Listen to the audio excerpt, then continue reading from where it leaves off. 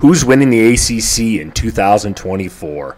So right now I got it pulled up um, the odds, and this is from FanDuel. You can use DraftKings, uh, Caesar's book, MGM. There's a ton of different books out there, uh, depending on what state you live in. But I'm going to use FanDuel, uh, currently one of the more popular betting websites. But uh, just taking a look at this from from top to bottom, and I want to go through a few things here before I get started. Now I bet quite a bit on college football. Um, I'm not saying you have to tail me or, or put the, mon- the amount of money that I put down, but uh, what I like to do normally is, let's say, for example, we're going to just use $100 here. I would, you know, if I think one team is really going to win um, a conference title this year, I'll put $100 on that. So, for example, if I think Clemson's going to win the ACC this year, if I put $100 down, um, I would get back if Clemson would win it $280. So, this kind of being a different type of uh, way I want to do this this year, especially with the ACC and probably the Big 12 as well. I think there could be there's not really an odds-on favorite to me to win the ACC this year. I think there's a couple teams. Um, if you guys don't know, the ACC last year, Florida State won it with that remarkable um, season they had last year. Um, I did win a bunch of money last year on Florida State. I actually picked them to go undefeated, so it worked out pretty well. Um, Jordan Travis went down was kind of scary, but they still pulled it off in the ACC title game against Louisville last year. But long story short, um, I think there's multiple teams. So yes, the ACC's been dominated by Clemson in you know years past. I think in 2021, Kenny Pickett, Jordan Addison, Pittsburgh won it. I think the 2022, I think might have been Clemson. Then last year was Florida State. So it's it's you know been Clemson top heavy, especially the last 10 years. I would say this year for me personally, and if you look at the odds here, it's plus 280 for Clemson and Florida State. They're tied. So that means most bettors, you know, books and the betting public basically thinks that yeah, this kind of split on Clemson. The other half is taken basically Florida State. So um, I'm going to start with each team here. I'm kind of going to break it down. And if you guys follow the I 80 boys, we have already talked about a couple of these teams. We will be talking about more of these teams coming up as well. Uh, so if not, check those out. I'll leave those in the description. Like I said, from top to bottom here, we're going to go through this. You guys can tail me, you can fade me, you can let me know that I'm a complete idiot and I don't know what the hell I'm talking about. But I've been doing this for about 20 years now. Um, I'm usually pretty profitable. I actually like doing these more than I do the win totals. But uh, moving on, we'll get started here and uh, we'll talk about Clemson since they're at the top of the list here. Um, and before I start, I forgot to add this as well for the ACC this year, I'm gonna instead of putting just hundred dollars down on one team here, and I do use more money in that. I'm just using that number to be uh, to make it easy, if you will. I'm gonna break this down into probably four teams. Um, so what you can do is put twenty five dollars on four teams. And if one of those wins it, with the odds being the way that they are here, you're going to come out pretty profitable for the most part. So here's my thing.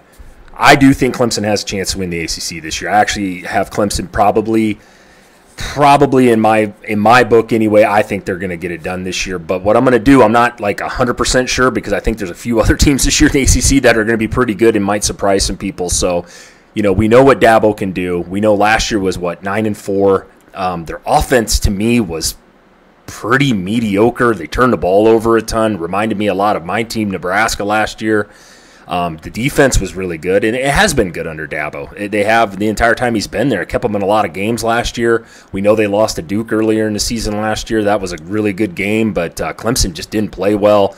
Just seems like Cade Klubnik. They, they just couldn't get that offense going, man. And, and he's got to be better this year. I've been hard on Cade Klubnik, but like you can't name a wide receiver either anymore on Clemson's program. I don't understand kind of what's going on. We, we could talk about Dabo and how he doesn't believe in the transfer portal essentially, but you know they, they lost Will Shipley. They're they're all uh, conference running back last year, but they do get Boy Mafah back. He's a really good back. He played a ton. He was kind of like the one B to you know Will Shipley's um, one A last year. But um, my thing with Clemson though overall is is if Cade Klubnik can play better, and I think he he will. I don't think he could. I hate to say this. I don't think he could play much worse than he did last year. I think the offense should be better. The defense, I think, still will be sound. They return enough people there that I think they'll still be, you know, very, very competitive for an ACC title, and they would be my favorites to win it. So I'm going to put probably 25% of whatever amount of money I want to put down on here on Clemson to win this, maybe a little more. I still, in my book, in my estimation, I think that they'll be a really good team yet. Um, we'll move on here. Florida State. Now, this pains pains me to say this because Florida State made me a ton of money last year. Like I said, I picked them to go undefeated, but this is 2024. Um, they lose a ton of production. Johnny Wilson, Keon Coleman. Both their their stud wide receivers are off the NFL. We obviously lose Jordan Travis, um, and I think they lost. Yeah, they lost Trey Benson as well. They're they're all conference running back as well. So. Um, what Norvell does this year is going to be interesting because I think Florida State is a good team. I don't think they're going to duplicate what they did last year. I think last year was just a, a, remarkable season. And it was really unfortunate because when Jordan Travis got hurt, that offense took a big step back, and it should have because Jordan Travis was a great player. He played there for quite a few years, had a lot of experience. Um, we know what happened, and I'm not going to get into the whole, you know, them not being selected into the the Final Four teams last year, but kind of a heartbreak deal for Florida State, but I think this year they're going to take a little bit of a step back. I do think Norvell is a good recruiter. I do think he does a good job in the transfer portal. I do think he's a really good coach, and Florida State's needed that. They've had um, tough times before he got there. So, um, what I'm going to do with Florida State, though, I do not think they are going to win the ACC, and I'm actually putting my money down that they don't. So, I am not putting any money on Florida State, unfortunately, to win the ACC this year. Moving on to Miami. Now we've talked about them on the I-80 boys over here. If you if you haven't like checked that video out, the predictions video, we do do you know we do um, prediction videos and record predictions on every single team almost in the Power Five. I have Miami going nine and three this year, and I think that's a great season for Miami. I think Miami fans would be even be excited if they do go nine and three. Their schedule is relatively tough, but the thing with Miami is Cam Ward. And I watched Cam Ward play a ton at Washington State. I think he's a really good quarterback. I think he's going to put up good numbers. He's going to be better and more consistent than Tyler Van Dyke, who's now off to Wisconsin. But the big thing with me with Miami, it's not their defense. Their defense is sound, solid. They have a top 15 recruiting class every year. They got more talent on the field than most of the teams they play. Unfortunately, talent doesn't win you games. It puts you in positions to win games, but you got to be able to coach, and that's what I'm getting to here with Cristobal. We all know what happened against Georgia Tech last year. It seems like they lose one or two games a year on boneheaded coaching decisions. Now, I like Cristobal, love the recruiting aspect, but he's going to have to be better coaching. I, I mean, seriously, with the talent that they have this year, Miami needs to win some football games. They haven't played for an ACC title now, and I don't know how many years. I think it, they've only made it once since they've been over to the ACC, which is kind of weird. I'm almost 40 years old, and I remember growing up in the 90s, and Miami was unbelievable. Um, early 90s, you know, late early 2000s, they were awesome. Excuse me, early 2000s, they were great. Um, it's it's been a while for Miami, and I think this year though, I think they're going to be a really really good team. I think they're going to be tough. I'm going to put 25% on Miami to win the ACC this year. I think there's an opportunity in a way that they can do that. Um, it, a lot of that rides on Cam Ward and in that offense. It, it truly does. But talent wise, Miami is through the roof talent wise again this year. So I do like Miami. They're one of my teams. Moving on now to Louisville. This one's a tough one for me. I like Brohm. I watched him coach a ton over here in the Big Ten at Purdue. He did a great job there. You know, Purdue's in the toilet now basically since he's left, so we know that he's a good coach. Um, what he did at Louisville last year was awesome. Now, I have to admit, I wasn't very high on Louisville last year. Um, a lot of people told me they were going to be good. I didn't listen necessarily, but they had a great season. Um, they beat Notre Dame. They beat a bunch of good teams. I think their one loss, surprise loss, was like the Pitt last year out of nowhere. They got their ass kicked for some reason. But Louisville, they, they lose pieces too. They don't have Plummer back at quarterback. They got the, I think his name is Tyler Shough, the kid that was the transfer from, I think he played at Tech last year, got hurt, but then he was at Oregon before that. You know, he's a talented kid. Um, they lose a little bit off the running game too as well. They lose Jamari Thrash, their their all conference wide receiver.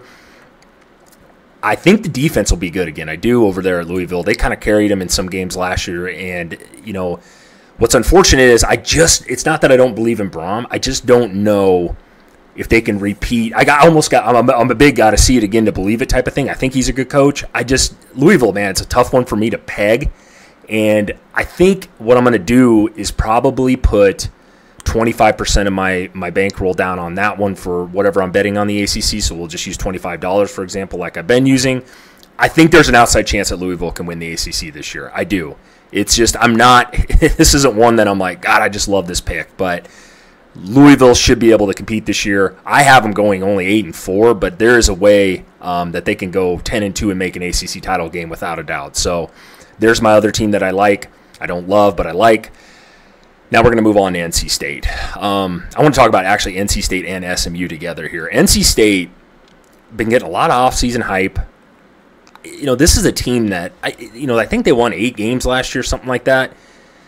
you know, nobody really talked about them. And I'm not going to sit and come on here and say I know a ton about NC State, but I think they're they're a tough team. They're not a real pretty team to watch, but they're going to win some games. They are, and I know they return a ton. So like, I know that they're going to be, you know, one of these programs that's, you know, they're they're, they're building up something. I think there. You know, you, you think of NC State, and I think of their, you know, the women's basketball team and their men's basketball team. If you guys watch basketball, both of them made the Final Four this year, kind of out of nowhere you know, we, are talking football, obviously, but it's like, man, I, I, I don't know if I can put any money down on NC State just because I have never really seen them do anything as in compete for an ACC title game. So I'm going to write them off the list. I think they're going to be a tough team to beat, though. I do I do think that. Same with SMU, and what I mean by SMU, this is kind of interesting. They come over from what the AAC last year, where they won it. Um, I believe last year though they were 0 3 against uh, Power Five schools though. And I do think SMU is a good team. They got something kind of building down there. I do think they're better, obviously, than a majority of the teams in the ACC. I do not, though, think that they're better than Clemson or Florida State or Miami or Louisville or even NC State for that matter. I don't think that. I actually don't think they're better than Virginia Tech. Um, so the odds here are kind of interesting to me. There are people putting money down on it. Um, you know, obviously the odds makers think that they're better than a majority of the ACC. SMU is not a team though that I ain't going to put any money on this year. I do think that they'll have a good season, meaning maybe they win eight games, but uh, not an ACC title. Virginia Tech. Now, anybody that's been following this channel this offseason knows that I'm really high on Virginia Tech. I'm going to tell you guys right now that's where my other uh, team is coming from and my 25% that I'm going to put down on them. Um, so I actually have Clemson, Miami, Louisville, and Virginia Tech. That's how I'm splitting my money up here. Um, I think one of those four teams is definitely going to probably play in the ACC title game. Now, hopefully, they win it, and I get a pretty good kickback. If that's VT, I get a pretty good chunk of change there. So, the thing with VT, we know what, what Drones is at quarterback. They return literally basically their whole offense. I think Virginia Tech uh, returns more than percentage wise than any other team in college football this season. They they won five out of the last seven games last year. They looked really good in their bowl game. Um, Pry's been doing a great job down there. They're kind of a defensive minded team. They're tough. Um, you know, I'm not going to say these are the VT days of when Marcus and Michael Vick were there, Tyrod Taylor back in the 2000, early 2000s. I'm, that's not what I'm saying, but I think they can have a season this year where they play for an ACC title. So I'm going to put my money where my mouth is and, and drop a little bit on them. North Carolina. This one actually kind of surprises me. They're even in the middle. I think you know, I've knocked on North Carolina a lot the last couple years because I thought talent wise with Drake Maye and all those receivers under Mack Brown that they should have won more games or at least competed or maybe won an ACC title game. Um, now I think they're on the downward slope. Um, they don't seem to play much defense over there. I don't really know what's going on with Mack Brown. I know he's getting older. I don't think he'll be coaching a lot longer. I think he's a legendary coach, don't get me wrong, um, especially at his time at Texas. But it's like, God, North Carolina's one of these teams that seems like every year you know, before the season started, oh, they're going to be nine and three, 10 and two. This is the year, and it just it, they they seem to choke. You know, they didn't have the year they wanted last year. I know North Carolina fans are probably kind of disappointed in that. Um, I don't think they have even a snowball's chance in hell this year of doing anything in the ACC. I may be wrong. You can tell me I'm an idiot, but uh, sorry, Tar Heels fans. Syracuse. Now, this is one that has been getting a lot of buzz this offseason.